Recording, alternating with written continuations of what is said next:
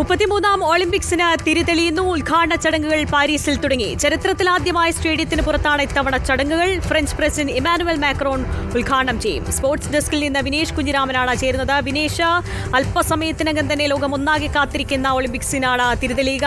എത്രത്തോളം പ്രതീക്ഷയാണ് ഇന്ത്യക്കുള്ളത് ആര്യ വലിയ പ്രതീക്ഷയോടെ തന്നെ നൂറ്റി പതിനേഴംഗ ഇന്ത്യൻ സംഘം പാരീസിൽ എത്തിയിരിക്കുകയാണ്. കഴിഞ്ഞ തവണ നേടിയ ഏഴ് മെഡലുകൾ ടോക്കിയോയിൽ ഇന്ത്യയ്ക്ക് ഏഴ് മെഡലുകളാണ് ലഭിച്ചത്.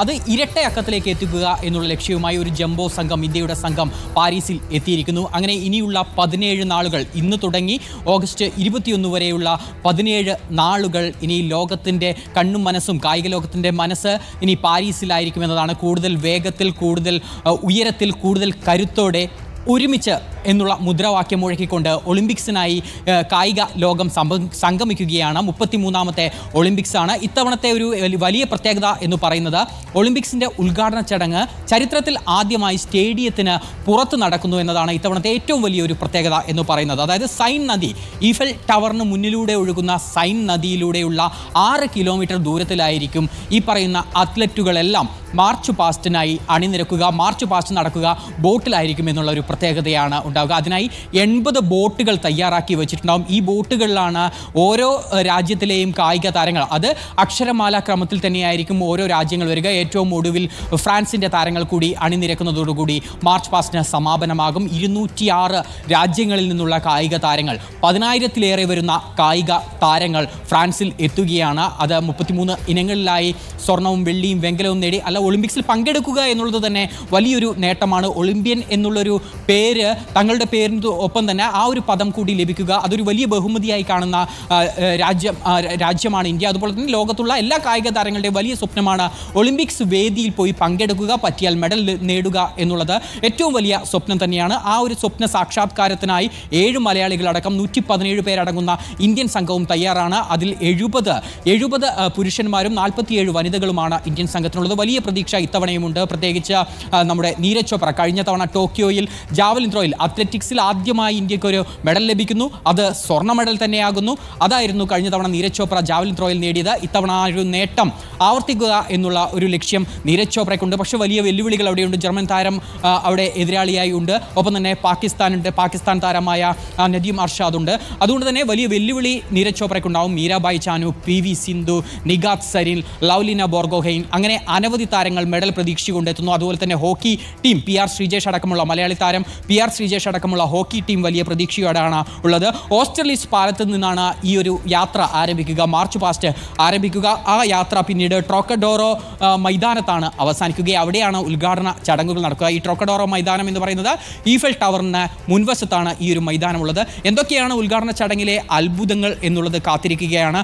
കാരണം ഉദ്ഘാടന ചടങ്ങുകൾ ആ മൈതാനത്ത് സംഗമിക്കുമ്പോൾ കൂടുതൽ കലാപരിപാടികൾ ഉണ്ടാവും നദിയിൽ തന്നെ നദിയിൽ ഈ ബോട്ടിൽ മാർച്ച് പാസ്റ്റ് നടക്കുമ്പോൾ തന്നെ അനവധി കലാകാരന്മാർ മുന്നൂറോളം കലാകാരന്മാർ നദിയിൽ ബോട്ടിലെത്തി കലാ വിരുന്നുകൂടി ഒരുക്കുന്നുണ്ട് കാഴ്ചയുടെ വിസ്മയം കൂടി ഒരുക്കുന്നുണ്ട്. ഏതായാലും ഇത് ഇത്ര നാളും നമ്മൾ കണ്ടിട്ടുള്ളതൊക്കെ അടച്ച സ്റ്റേഡിയത്തിൽ അതിൽ തന്നെ രണ്ടായിരത്തി എട്ട് ബെയ്ജിംഗ് ഒളിമ്പിക്സിലെ കിളിക്കൂട് സ്റ്റേഡിയത്തിൽ നടന്ന ഉദ്ഘാടന ചടങ്ങുകളൊക്കെ ലോകത്തെ ഒന്നടങ്കം ത്രസിപ്പിച്ച ഉദ്ഘാടന ചടങ്ങാണ്. അതിനെയൊക്കെ വെല്ലുന്ന തരത്തിലായിരിക്കുമോ ഇത്തവണത്തെ ഉദ്ഘാടന ചടങ്ങുകൾ എന്ന് കാത്തിരുന്ന് കാണേണ്ടതുണ്ട്. കാരണം സ്റ്റേഡിയത്തിന് പുറത്താണ് ആറ് കിലോമീറ്റർ ദൈർഘ്യമുള്ള മാർച്ച് പാസ്റ്റാണ്. അപ്പോൾ നദിയിൽ തന്നെ എന്തൊക്കെ വിസ്മയങ്ങൾ ഒരുക്കി വെച്ചിരിക്കുന്നു ഇത്തവണ. ചരിത്രത്തിൽ ആദ്യമായാണ് തോന്നുന്നു ഒളിമ്പിക്സിന്റെ ഉദ്ഘാടനം ഒരു തുറന്ന വേദിയിൽ നടത്തുന്നത്.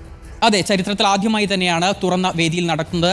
ഇതുവരെ എല്ലാം സ്റ്റേഡിയം അതായത് ഒളിമ്പിക്സിന് ഒരു മെയിൻ സ്റ്റേഡിയം ഉണ്ടാകും ആ മെയിൻ സ്റ്റേഡിയത്തിൽ തന്നെയാണ്. ഇപ്പോൾ ബെയ്ജിങ്ങിലെ കാര്യം പറഞ്ഞല്ലോ കിളിക്കൂട് സ്റ്റേഡിയം എന്നായിരുന്നു അന്ന് ആ ഒരു സ്റ്റേഡിയത്തിന് ഇട്ടിരുന്ന പേര്. അതുപോലെ തന്നെ ആ മെയിൻ സ്റ്റേഡിയത്തിലായിരിക്കും ഉദ്ഘാടന ചടങ്ങുകൾ നടക്കുക. പക്ഷേ ഇത്തവണ അങ്ങനെയല്ല മെയിൻ സ്റ്റേഡിയത്തിലല്ല നടക്കുന്നത്. തുറന്ന വേദിയിൽ തന്നെയാണ് ഈ മക്നഡോറോ മൈതാനം നേരത്തെ പറഞ്ഞതുപോലെ ആ മൈതാനത്ത് ഫ്രഞ്ച് പ്രസിഡന്റ് ഇമ്മാനുവൽ മക്രോൺ ആയിരിക്കും ഉദ്ഘാടനം നടത്തുക.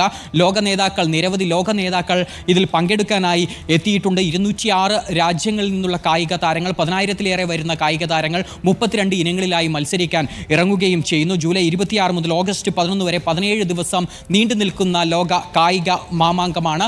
ഒരു നൂറ്റാണ്ടിന് ശേഷം പാരീസിലേക്ക് ഒളിമ്പിക്സ് വിരുന്നെത്തുന്നു എന്നുള്ളൊരു പ്രത്യേകത കൂടിയുണ്ട്.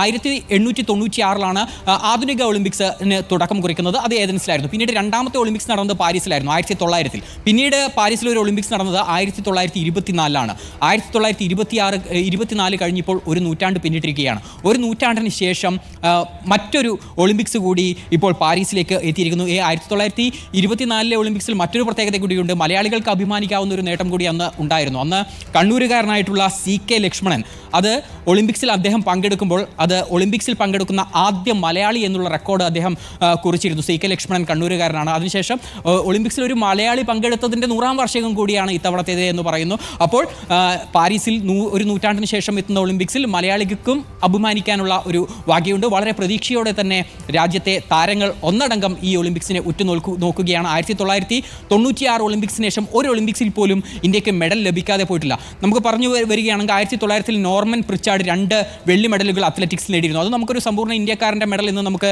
കണക്കിൽ കൂട്ടണ്ട. പിന്നീട് ഒരു വ്യക്തിഗത മെഡൽ വരുന്നത് ആയിരത്തി തൊള്ളായിരത്തി അൻപത്തിരണ്ടിലെ ഹെൽസിംഗി ഒളിമ്പിക്സിലാണ്. കെ ഡി ജാദവ് ഗുസ്തിയിൽ വെങ്കലം നേടുന്നതാണ് ഇന്ത്യയുടെ ആദ്യ വ്യക്തിഗത മെഡൽ എന്ന് പറയുന്നത് ഒളിമ്പിക്സിൽ. പിന്നീട് വീണ്ടും ഒരു മെഡൽ വര വരൾച്ചയുടെ ഒരു ഏഹ് കാലഘട്ടമായിരുന്നു ആയിരത്തി തൊള്ളായിരത്തി തൊണ്ണൂറ്റി ആറ് വരെ. ആയിരത്തി തൊള്ളായിരത്തി തൊണ്ണൂറ്റി ആറിലെ അറ്റ്ലാന്റ ഒളിമ്പിക്സിൽ ലിയാൻഡർ പേസ് ടെന്നീസിൽ വെങ്കല മെഡൽ നേടുന്നു. തുടർ തുടർന്ന് ഇങ്ങോട്ട് എല്ലാ ഒളിമ്പിക്സിലും ഇന്ത്യയ്ക്ക് മെഡലുണ്ട്. രണ്ടായിരത്തി സിഡ്നിയിൽ നടന്ന ഒളിമ്പിക്സിൽ കർണം മലേശ്വരി ഭാരോദോഹനത്തിൽ മെഡൽ നേടുന്നു വെങ്കല മെഡൽ നേടുന്നു. രണ്ടായിരത്തി നാലിൽ ഒരിക്കൽ കൂടി ഏതൻസിലേക്ക് ഒളിമ്പിക്സ് തിരിച്ചെത്തിയപ്പോൾ രാജ്യവർദ്ധൻ സിംഗ് റാത്തോഡായിരുന്നു ഇന്ത്യയുടെ അഭിമാനമായി മാറിയത്. ഡബിൾ ട്രാപ്പ് ഷൂട്ടിങ്ങിൽ അദ്ദേഹം വെള്ളി മെഡലാണ് രണ്ടായിരത്തി നാലിൽ നേടിയത്.